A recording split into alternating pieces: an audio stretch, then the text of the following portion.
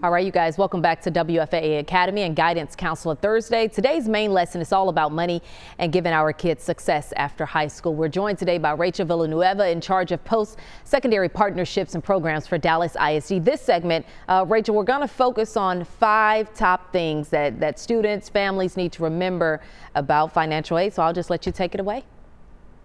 Yes, so thank you. I think one of the major things to remember about this financial aid application, it is free to fill out. You should not pay to fill this form out. There are websites out there that will say, fill out here, pay this X amount of money. Don't. Visit FAFSA.gov.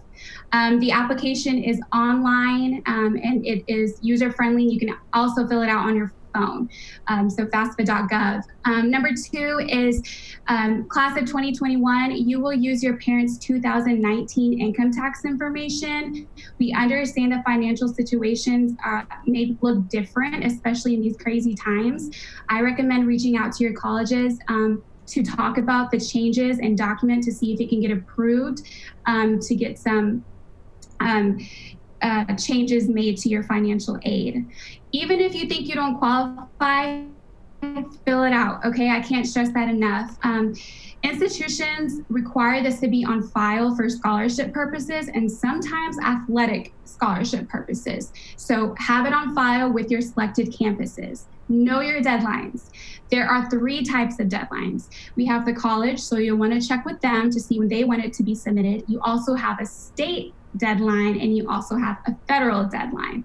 Um, higher ed is big on deadlines, students, so um, pay attention to all college admission deadlines. Um, number five, most school districts offer um, a college expert, or maybe it's your high school counselor who has that role at your campus. Um, I recommend reaching out to them and gathering information on how to start the college admission process. Um, in Dallas ISD, we actually have a college access program that services 36 of our high schools um, in collaboration with counseling services. So what this is, is they are able to sit down with students and help them complete anything college related, applications, financial aid, you name it. Um, you can find these experts on the Dallas ISD Post Secondary Partnerships and Programs Department.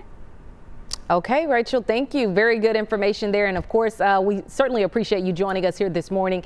You can find all of that information and all and all of our WFAA Academy lessons on our website and our app, WFAA.com. Just text the word Academy to 214-977-6028. You'll get a link that will take you straight to this story. Of course, we'll be right back.